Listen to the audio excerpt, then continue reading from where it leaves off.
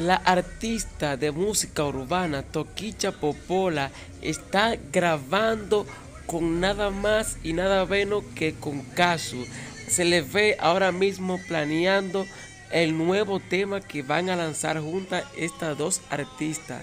Se recuerda que Casu es una artista internacional y está hablando con Toquicha Popola. Al parecer viene una super colaboración entre estos dos grandes artistas. Se encontraron en el concierto que está realizando J Balvin en Punta Cana, mi gente.